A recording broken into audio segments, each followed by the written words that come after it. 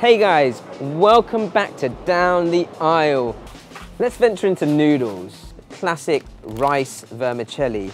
Really thin, they're usually sort of one to two millimeters of thickness. These, when soaked, they come out white in color and they're great for things like Singapore noodles also called rice vermicelli, we've got a thicker version of that thin rice vermicelli. makes all the difference for a dish like a bun. We've got these sweet potato vermicelli, great for Korean cooking, and those sort of simple stir-fried noodles which have a really unique bite to them. This one here is actually potato vermicelli. I'm gonna be honest here, I've never used this in my life. So I'm definitely gonna buy this and try this for our Patreon channel. We'll see what textural difference comes out from this.